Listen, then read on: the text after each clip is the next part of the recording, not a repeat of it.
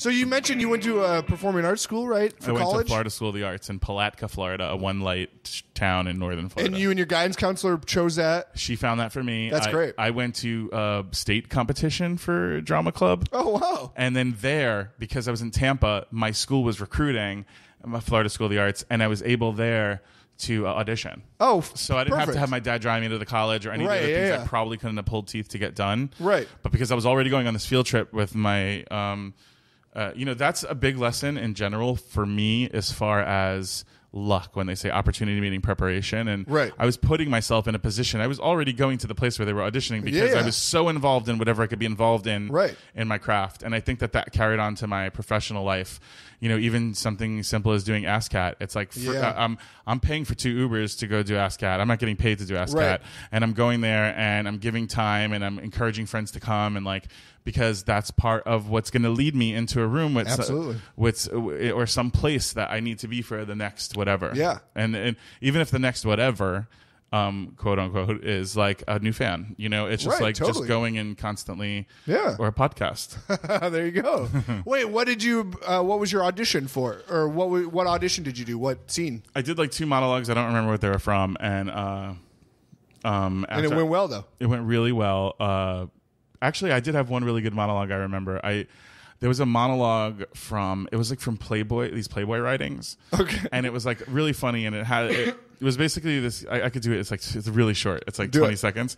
But I replaced all of the really American names with like Italian names. I don't even know if I still remember it, but it was something like. um Ever since I was a kid, I didn't want to be me. I wanted to be Tommy Falzoni. I walk like he walked. I talk like he talked. I even signed up for the same high school he signed up for, which is when I started noting that Tommy Falzoni started acting a little weird. He started hanging around Mikey Amendola. He walked like Mikey Amendola. He talked like Mikey Amendola, and he mixed me up. I began walking and talking like Tommy Falzoni, walking and talking like Mikey Amendola. And then it dawned on me that Mikey Amendola sort of walks and talks a lot like Joey Mazzola, and Joey Mazzola walks and talks a lot like Danny DeRazio.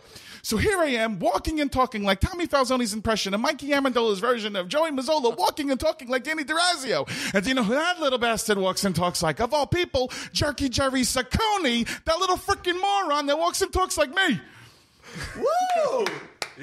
In. That was That's in. great. That was in. That's great. Yeah. So uh, is this school just eight to five? You're basically taking classes on Oh man, theory it was like and to me. I never saw it like for a degree. I first of all, I thought that my high school diploma like didn't matter. Like I was like, I ju- like to be honest, I was like, I never wanted a college degree. I used it like boot camp. Right. I double majored in acting and musical theater, and I would do stuff. This is so bad to say. I don't know, but I would do stuff. I would, I would do stuff like I, you know, I took basic tap, but then my, and, and acting one, but then my second year acting two was the same time as tap one, so I failed basic tap. So the following year I could retake basic tap just to continue tapping.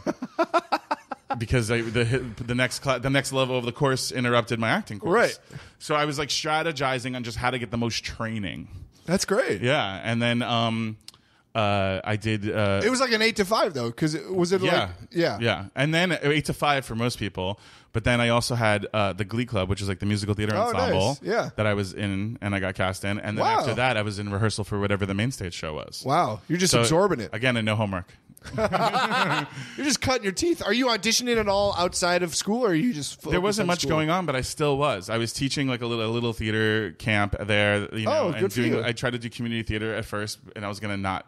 Again, just like I, some people were like, "We're not going to audition for the first show this season." Yeah. and so I backed off, and my teacher was like, "I'm a little disappointed because I had my eye on you for certain things, and you didn't even audition, Uh. and don't hang out with the wrong crowd." And it was kind of another lesson for me to sort of just keep going for it. You know, Right, yeah. I was scared. You know, Yeah. Um, but uh, then I was in every, you know, all the plays, and I did really well. And then it started getting too good, you know. Like uh, my professor was kind of like, you know, we're looking at doing this thing next year, and you might be right for the lead. And the lead was like an 85 year old man, and I was like, what am I? I'm like, I'm like, I'm 19, you know. I was like, I either need to like change schools or start working or whatever.